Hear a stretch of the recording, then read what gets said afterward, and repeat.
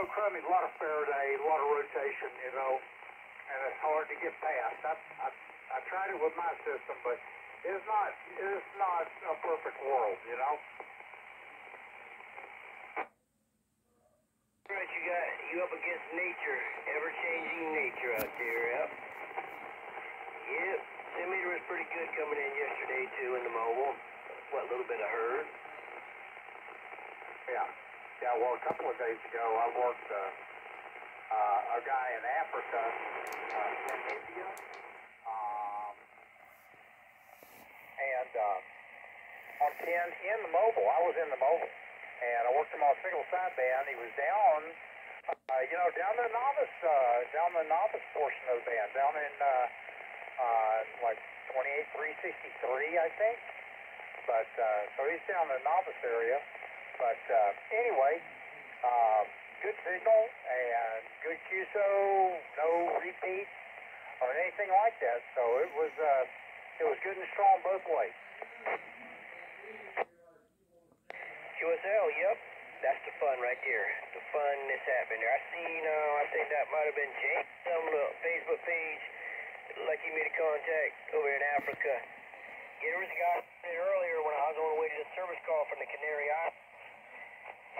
And, um, I wanted to try him, but I pulled up on the service call and had to get to work.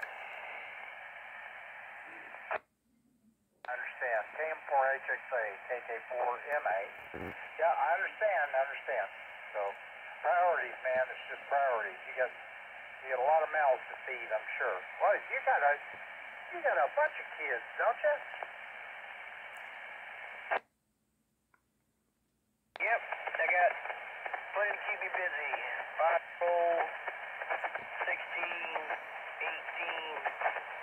all up in here, keep me busy and working this wheel, working this wheel, you know what I'm saying? Whenever they finally move out, it'll be big time contributions to my radio world. They, they might move out, but they might move to college.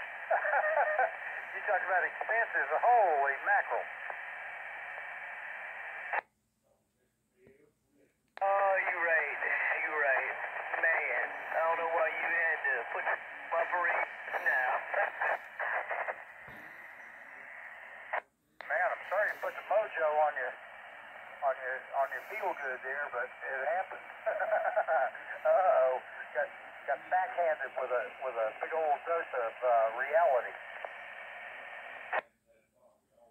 Yeah, that's alright. I'll still get the radio operation in there, slow but steady. Keep the fun going.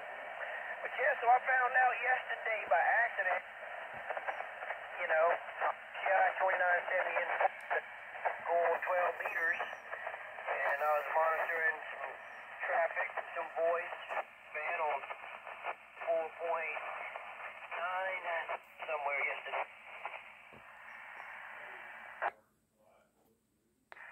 Oh yeah.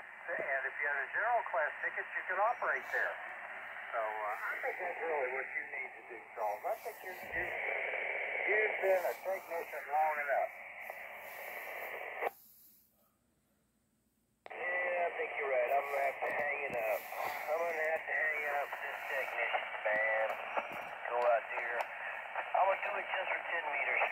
That's the only reason doing it because that 10 is, I'll tell you what, it's pretty damn phenomenal. Guys coming in on 10 talking about it.